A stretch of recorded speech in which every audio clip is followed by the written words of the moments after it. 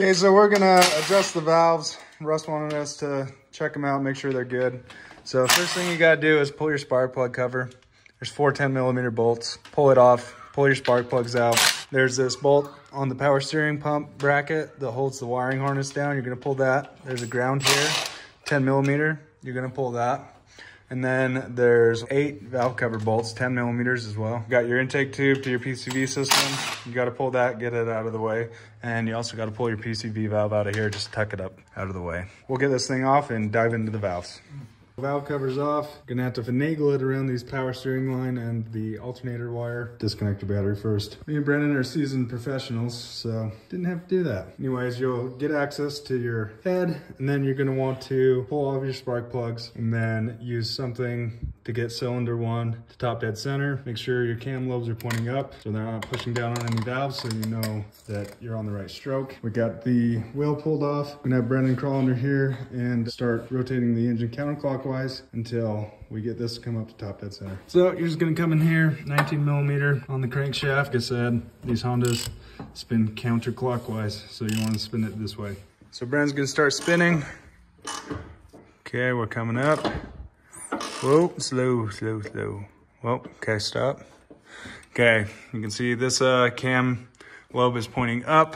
This one is also pointing up, meaning we have the valves seated against the combustion chamber, which means we're where we need to be. You can also see our arrows on our cam gears are pointed up, and these two little indicators are pointing each other on the cam gear. Come up just a little bit, Brennan.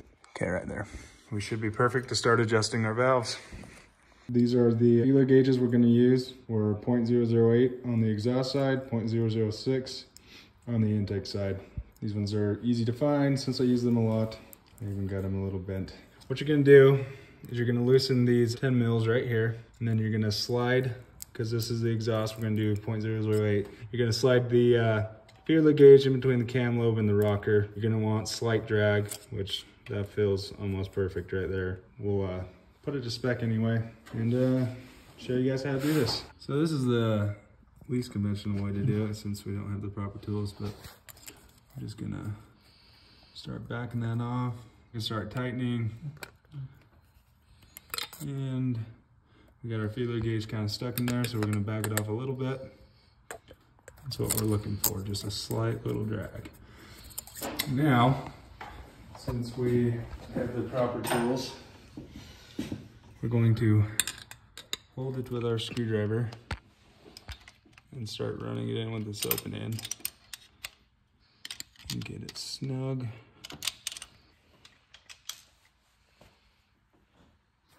So we got the exhaust adjusted because I forgot my tool to do this at home. Just kind of a quick tip if you don't have the tool. You're just gonna kind of wanna get it close with the feeler gauge, tighten it down, make sure you're still in spec. What we've been doing is we have a nine here. Make sure the nine won't go in, the eight will. Nine is still within spec, but we're just trying to get this thing perfect for Russ because he's really wanting us to run the valves. So we're just gonna make sure they're at spec. That's how we've been doing it. So exhaust is done. Now we're gonna move to the intake with the 0.06. Intake valves adjusted, slight drag, slight drag, sorry. It's really hard to film back here, but cam lobes right there. Adjusters are right there. So now we're gonna move on to cylinder number two. Same thing, rotate it till the cam lobes are pointing up, valves are seated, and we'll start adjusting. Oh, we're coming up, we're coming up. Oh, the power stroke right there. Dang.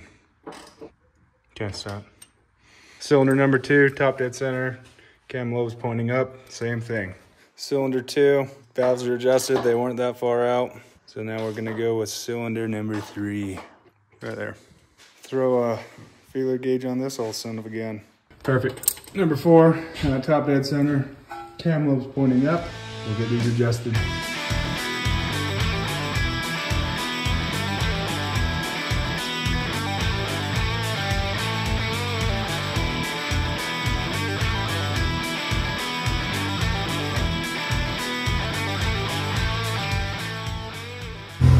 Okay, well, we got new NGK spark plugs in it. Seems to be idling better. It still has a slight miss, but we did find that the knock sensor was uh, broken off.